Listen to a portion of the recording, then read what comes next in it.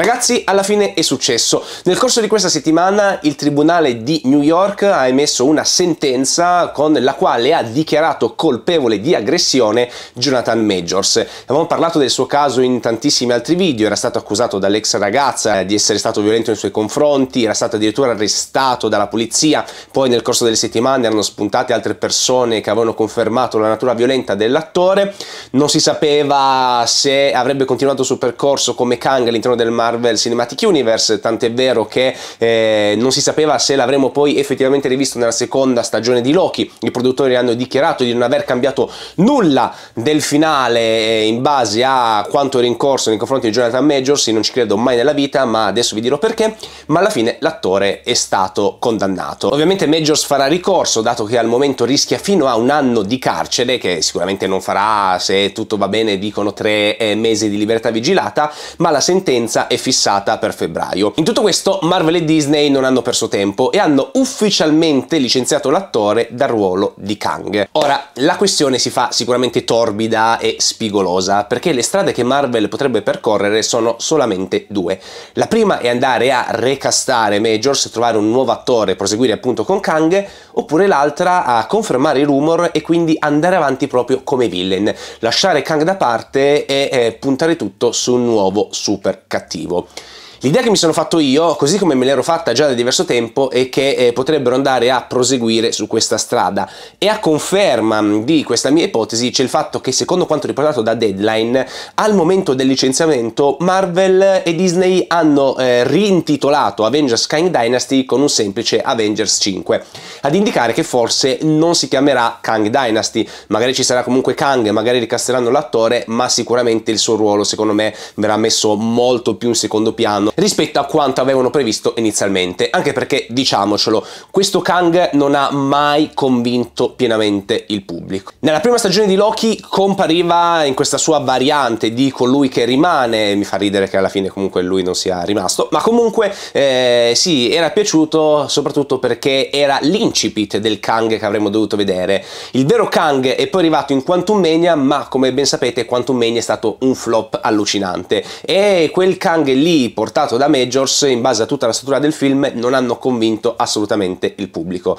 È arrivata poi la seconda stagione di Loki, abbiamo visto Victor Timely che come ben sapete ve ne avevo già parlato anche durante le reaction e le analisi degli episodi, non mi è piaciuto per niente, è stata la cosa che meno mi è piaciuta di questa seconda stagione di Loki che comunque ha spaccato, ma il bello di questa stagione di Loki è, è soprattutto da riportare in Loki, soprattutto da riportare nel finale, in come si va a concludere la storia del suo personaggio, nessuno ricorda la seconda seconda stagione di Loki per Victor Timely e quindi Marvel potrebbe effettivamente decidere di lasciare Kang in panchina e proseguire magari con il prossimo villain che è il rumoreggiato Dottor Destino. Anche perché, come già vi avevo detto nell'analisi dell'ultima puntata della seconda stagione di Loki, per me la storia di Kang potrebbe essere tranquillamente chiusa perché nel finale della seconda stagione di Loki ci viene fatto intendere che il nuovo scopo della TVA, il nuovo obiettivo è quella di tenere a bada le varianti di Kang e addirittura nel finale vanno a citare quanto è successo in Quantum Mania e viene tutto descritto come un, un problema che si è risolto da solo. Quindi ragazzi io non andrei completamente ad escludere il fatto che ad un certo punto ci andranno a dire guardate Loki è diventato il dio delle storie, ci sono sì le varianti di Kang ma vengono tutte controllate dalla TVA il cui unico scopo ormai è quello, tenere a bada tutte le varie varianti di Kang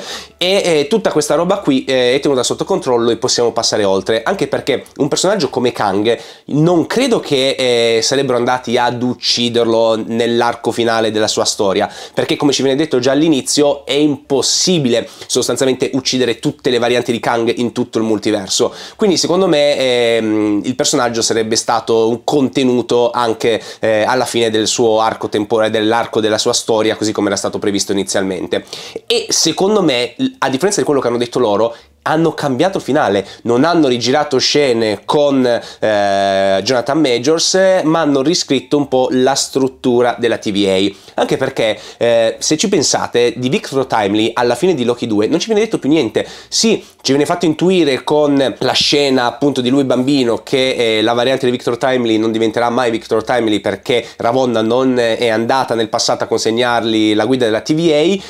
E quello secondo me è un altro segnale per dirci ragazzi, loro tengono tutto a bada, eh, Kang ce la siamo levati. E ammetto che un po' mi dispiace perché Kang comunque è un personaggio, nei fumetti è un personaggio eh, veramente assurdo, fa delle robe incredibili, mi è dispiaciuto per esempio tantissimo che in Quantumania non abbiano fatto vedere le tasche temporali, che sono appunto uh, questa sorta di tasche che lui apre eh, nel tempo, nello spazio, da cui tira fuori tutte le sue armi, eh, però, ripeto, questo Kang non ha convinto praticamente nessuno se non eh, una fetta minore del pubblico. Quando è uscita la notizia ho fatto il post su Instagram e molti mi avete detto, eh però mi dispiace, mi dispiace anche a me,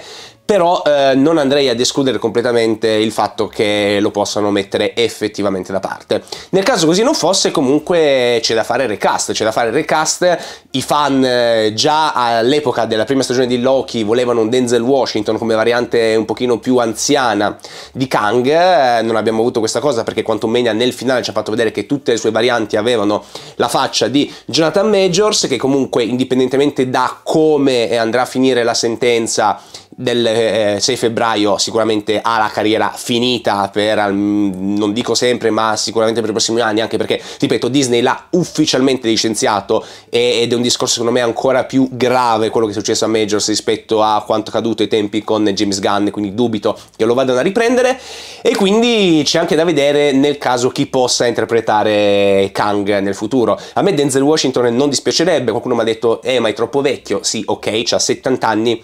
ma non penso che Kang sarà eh, così come non eh, sarebbe dovuto essere un personaggio che ci saremmo portati poi dietro per anni e anni. Ok che probabilmente con tutto sto casino il prossimo Avengers, eh, che ormai non si sa più se Kang Dynasty o Avengers 5, chiamiamolo Avengers 5, sicuramente non lo vedremo prima del 2026 e a meno che non vadano ancora a posticipare le cose, altri due anni il buon Denzel Washington li può aspettare nel caso. E, e già ehm, prima di tutto il casino io ero molto dubbioso del fatto che ci saremmo portati Kang anche in uh, Secret Wars.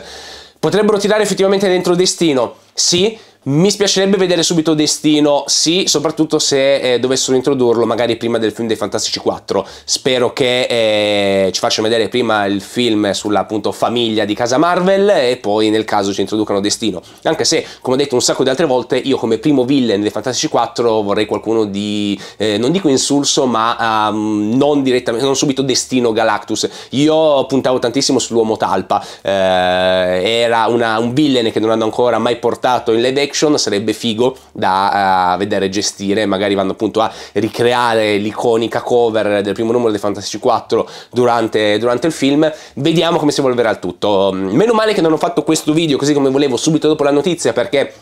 Poche ore dopo la condanna nei confronti di Majors è arrivato un comunicato da Disney con il quale ha licitato ufficialmente l'attore Rimane da capire cosa farà Marvel mm, nel futuro. Io, con tutto il casino di Majors, con i rinvii, gli eventuali tagli di serie, roba nuova che devono aggiungere in corsa, terrei con grande attenzione l'arrivo del San Diego Comic Con poi il prossimo anno a luglio, perché dovrebbe essere sulla carta il primo grande evento dove Marvel potrebbe dire cose e secondo me sarà um, un panel molto interessante. L'idea che mi sono fatto è che eh, ci presentino una timeline timeline non dico completamente diversa rispetto a quella che ci hanno mostrato tempo fa, ma secondo me molte cose andranno, andranno a cambiare soprattutto andranno ad inserirsi nel mezzo. Ragazzi, fatemi sapere cosa ne pensate voi di tutta questa storia, soprattutto se lato vostro preferireste un recast di Kang e andare avanti appunto con il personaggio, oppure vi siete stufati, non vi è piaciuto nulla di quello che avete visto e, e vorreste passare, passare, oltre, magari non direttamente a destino, qualcuno di, qualcuno di mezzo magari Ecco, se dovessi scegliere un villain per la prossima fase che non deve essere per forza destino, io eh, mi concentrerei sulla parte urbana, farei eh, tutto un, eh, ma, eh, un mini ciclo di un paio di film e serie tv che vedono come villain principale Kingpin. Kingpin che magari diventa sindaco di New York, a capo di tutta la malavita newyorkese, non sarebbe affatto male e ci porterebbe secondo me un po' coi piedi per terra eh, ed è una cosa che io apprezzo sempre. Abbiamo avuto eh, viaggi nel tempo, roba super cosmica, galattica, multiversi in questo momento, che, che la questione multiversi è ancora aperta, la devono assolutamente chiudere perché comunque eh, anche in Doctor Strange 2 nel finale lui parte via con Clea, ci sono i casini di Spider-Man Way Home, quindi quella parte lì andranno sicuramente a chiudere eh, con Secret Wars, ma se in mezzo mi danno un paio di progetti relativi all'ambiente urban con Kingpin a capo, per esempio io Spider-Man 4 vorrei che fosse incentrato su questa cosa qui, si staccasse da quanto è successo appunto in No Way Home con la questione multiversale, non mi, non mi dispiacerebbe per nulla, anzi. Quindi ragazzi, mi raccomando, sotto con i commenti fatemi sapere cosa ne pensate e noi come sempre come al solito ci vediamo al prossimo video. Ciao!